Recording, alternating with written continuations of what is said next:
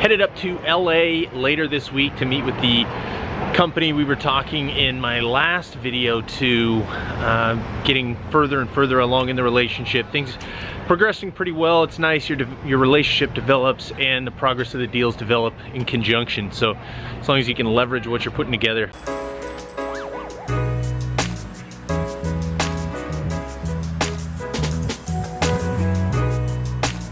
Way to Long Beach right now, going to meet with uh, this is an important meeting. Today's the day we're gonna see if we can get hired.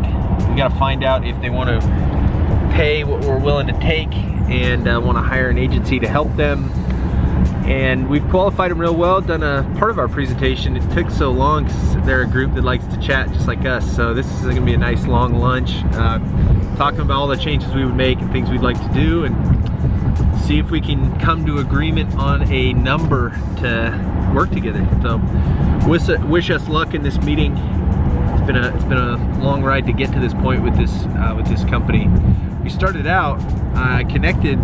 I started out I connected with the company on uh, the phone actually, and kind of struck up a chord with the marketing director and ended up finding out that she's married so I sent her a record for Universal Love Songs which I did an ad review for a while back. It's one of the reasons I knew about it and thought it would go over well. Uh, sent her the record which was you know whatever eight dollars and uh, she got it but the note didn't get included with it somehow so she didn't know who'd sent it to her but she was in love with the record. So the next time I talked to her I told her I sent her the record and bingo she was very very excited and things really progressed from there so one of the things I learned from this deal was to try and find out something real personal or uh, at least something unique about prospects or companies you want to work with and do something unique to show them that you're listening and care about you know them as a person on, on an individual level.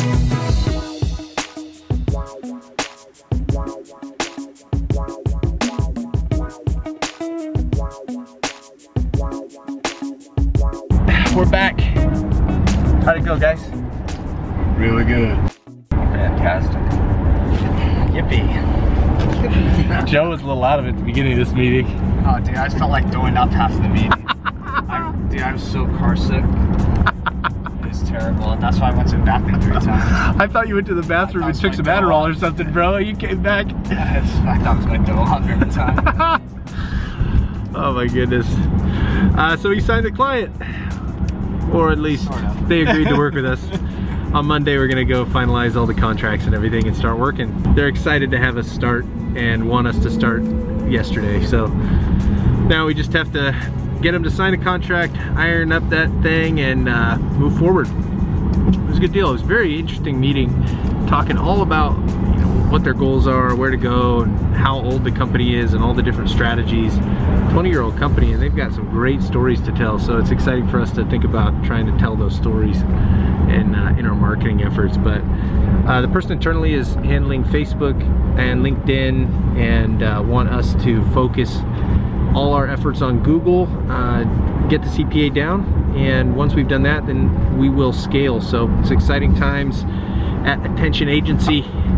On to the next client, baby. Back to San Diego. Let's go.